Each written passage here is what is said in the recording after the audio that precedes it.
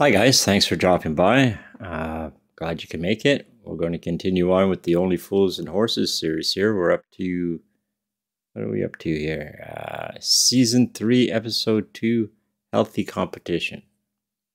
I don't know. Is there another Del moving in next door? well, that would be pretty bad for the neighborhood. uh, this is, like I said, season 2. The last episode was pretty good. It was pretty funny, and Del had set up quite a complicated and intricate sting just to get a new apartment. Well, get a bungalow to get out of the uh, out of the sky. uh, everybody seemed to be in on it except for Rodney. You know, he had uh, he had Trigger in on it, and the chairman of the count, not the council, but the the board of their their building, I guess, or you know their neighborhood. Um, and it was in on it too. I'm pretty sure because if you didn't have a co-chairman or why did they open the meeting? Can't start the meeting without one. So why did they have the meeting at all? So it, it was pretty well laid out plan. Almost worked. It almost worked, but you know, they got a little excited at the end. Just a little too much. and of course, you know, nothing works out for them. Well, not usually.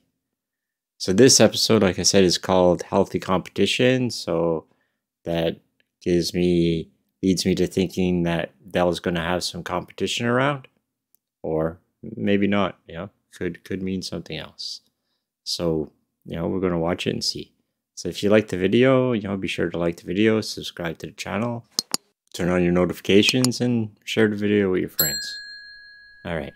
So let's just get started now. All right, let's watch. They're beautiful, aren't they? They're beautiful. Gather around, everybody. Listen to me. Now, listen, ladies, I want to tell you something. I happen to know that little Prince William has one of these because his dad gave me a bell last week and he said, Oh, boy, I've forgotten Spud's birthday. Now, Spud happens to be the nickname for the little Prince William. So what did I do? I walloped straight round there with one of these and it was end of aggravation. Now, listen. Who'll give me six quid for this little yak? If these were fluffy little chickens, you'd be saying, good heavens, they are going cheap. Right? Now, what I... What I... Uh... Sorry I can't state. See ya. Hey, Ipsy, Ipsy, excuse me. Hey!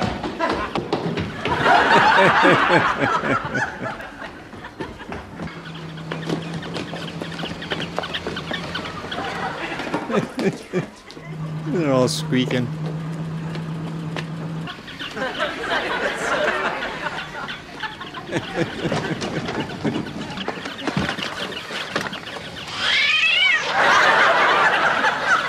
Shut up, will ya?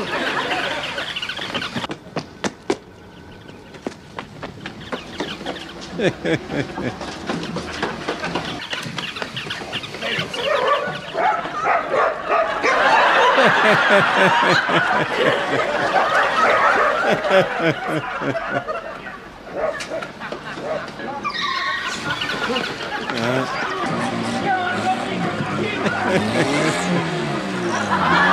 I lost all those doggies.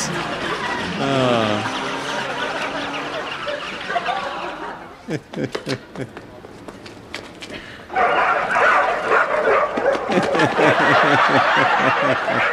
Ooh, look at the colors. Had a good day, Del. All the best, Grandad. I've been chased by a gendarme and almost caught rabies, and it's all this dipstick's fault. Oh, we don't half exaggerate. Why didn't you warn me that that copper was coming? Because I didn't say it. What do you want me to get you, radar or something? I'll give him the benefit of the doubt, Del boy. Yes, thank you, Grandad. I mean, they are difficult to spot with their size 18 boots and their pointed heads. Why don't you shut your... Oh, What about last Friday then, when we were knocking out them Italian shirts? That what? That wasn't just one copper you failed to warn me about. It was an entire squad car. I've had a lot on my mind just recently. I've been struggling to find a way of making a very important announcement. What important announcement? For the past two weeks or so, I've been taking stock of my life, who I am, and where I'm going.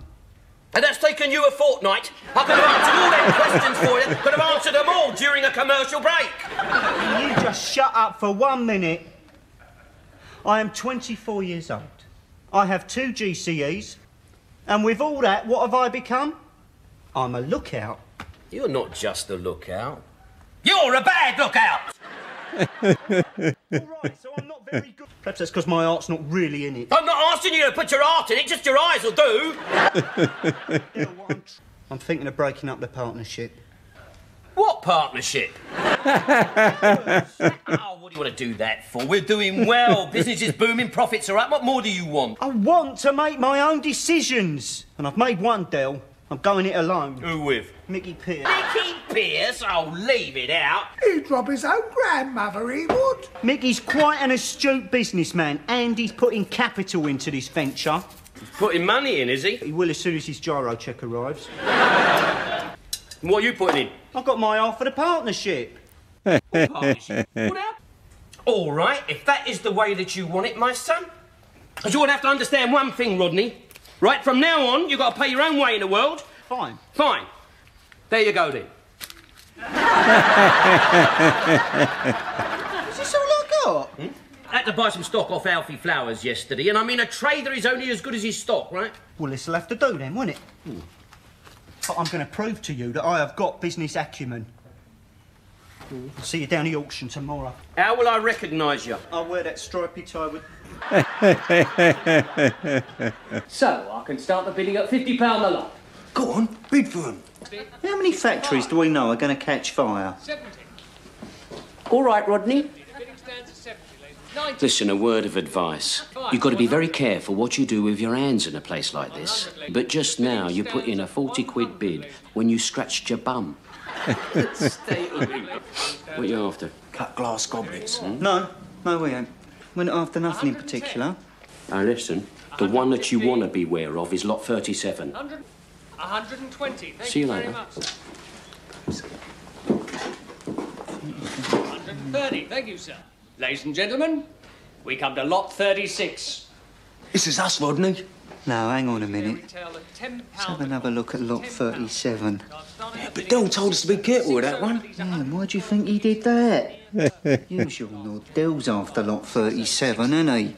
I know how his mind works, son. Lot 37. Assorted agricultural machinery. Hey, that could be anything. That could be tractors, combined harvesters. Here, we could take them out of the sticks and do them old carrot crunches up. Hey, should we go for lot 37 then? Yeah. You bought this one? Yeah. this stuff is a load of rubbish. I know, I did try to warn you, Rodders. Well, what have you bought then? I got those crystal goblets that you were after. What are these things? They are lawnmower engines. They're not ordinary lawnmower engines. No? They're broken lawnmower. Um, but we was wondering whether you could take maybe a few in the back of the van. I've only just cleared them out of the van. I mean, you were selling them in the first place. Yeah. that is the rubbish that Alfie Flowers sold me. Well, I never thought I'd ever get shot of them. Actually made a tidy little profit on it and all. Well, what are we supposed to do with them? Well, why don't you do what I did? Find yourself a couple of right little plonkers with cash on the hip.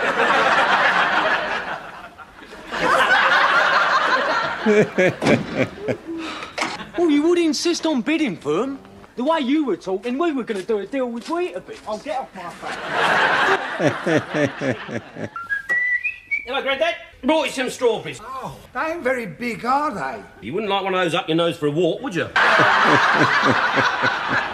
You're splashing out a bit, ain't you? Yeah, well, I've had a right blinding week. Even sold those technicoloured woolen tea cosies I bought. Hell wants woolen tea cozies these days? I got that Mrs. Murphy, right, to stitch up all the holes, and I flogged them to the West Indian lads as soppy hat. Look, there's the housekeeping money, all right, and look at that, there's a tenner for yourself. Oh, cheers, Dill. I said, don't squander it. How's young Rodney doing?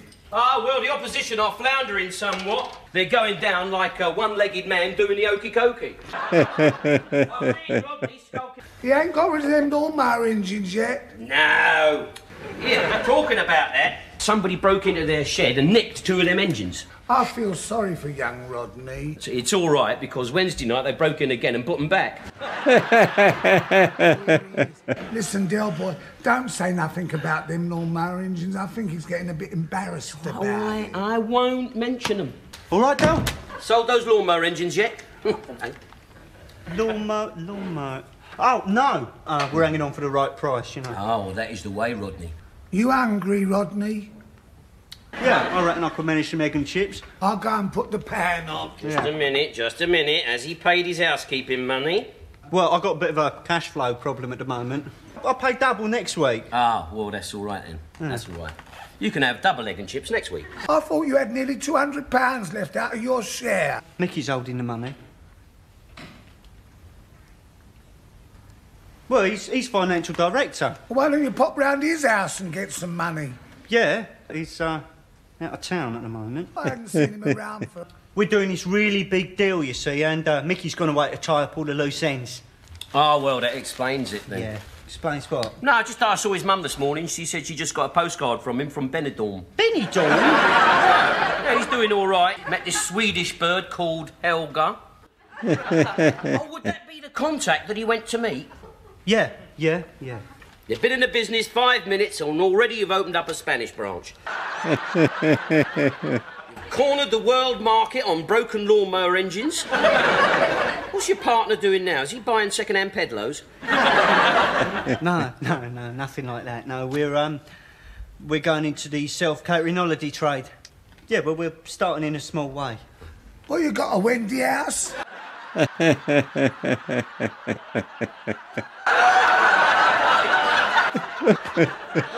It's confidential information. That's right. I understand, Rodney. Where are you going? Well, I thought I might go down and have a couple of light ales down the Nag's Head. Coming? No, no, I, I really ought to stay in and do the company accounts, I suppose. Oh, here they are. Oh, cheers. You don't really think I'm that hard, do you, Rodney? Of course I'm not. Oh, cheers, Dill. Grandad, do him them egg and chips, will you?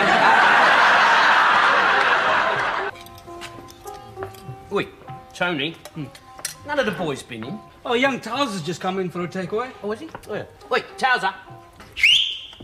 Oh, Dill, how's it going? All right, my son. Sit down. Have a shot of Papa Don. Cheers. I want you to do me a favour. you know those broken lawnmower engines that dozy twonk Rodney got himself lumbered with? I want you to buy them off him. I don't want nothing to do with him. Listen, you don't have to spend any money. I'll give you the money. 200 quid. I want you to offer him that. 200? They're only worth about a score, scrap value. I know, but I want him to think he's made a good profit. Look, he's had a bad week. Why don't you just give him the money? Well, does it seemed like charity, wouldn't it, eh? And he'd be too proud to accept it. No, he'd snap it up like a shot. but I want him to think that he's been successful. It's important, Towser. If that's what you want. You're a pal. Wait a minute.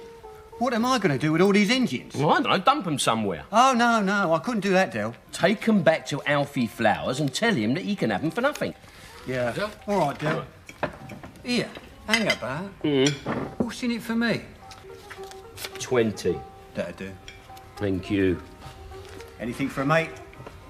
All right, Rodders? Yeah, Yeah. Mm. There's a really silly bloke down the market today. I think he must have come from a funny farm. He was really silly. I said to him, I said, Do you want to buy some broken lawnmower engines? And he said to me, I ain't that silly. For your information, this morning I successfully negotiated the sale of them engines to young Towser. On my life, he's bought the lot. well, that's a stroke of luck, then, isn't it? No, no, it's not luck, Del. I knew all the time if I held on long enough, I'd get my price. well, I must say, I admire your courage, Rodders. Hey, well, he who dares wins. So, well, that Mickey Pearce, he's going to be pleased when he comes back off holiday, isn't eh? Now, don't you talk to me about that Mickey Pearce. I've liquidated our partnership. So, what are you going to do then? Well, I, I was thinking, oh, you know. Go back as we was, eh? You and me. You and me, Del, eh? And now I've got experience in buying and selling myself. Yeah, that could be invaluable, Rodders.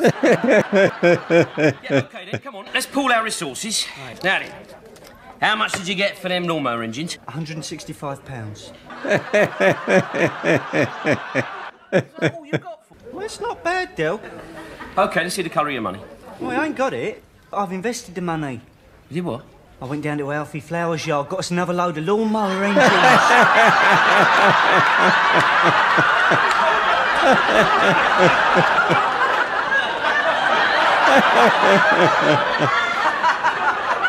You're joking. Tell me that you're joking. Oh, he tells this bloke at the GLC, well, he can't get enough of them engines. I tell you, I was dead lucky down at Alfie's. He'd had another load delivered this morning. Because they're exactly the same as the others. You bet your life they're the same. What a 42 carat plonker you really are. Now that we're partners again, do you think you could help me out? I ain't had a pint all week. Look, the soul's coming off my best Gucci. Yeah, I'll help you out, Rodders. Put that round your Gucci, it'll stop the soul coming off.